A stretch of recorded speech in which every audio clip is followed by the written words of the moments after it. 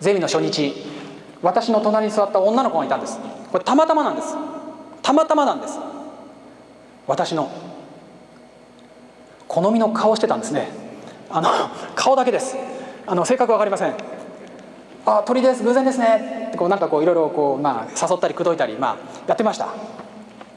で彼女もなんか話合わせてくれていろんなことを話してくれましてなんか聞いてたらなんかあのすごい冷え性で腰痛持ち今も腰痛いんですよ。あ若いのに大変ですね。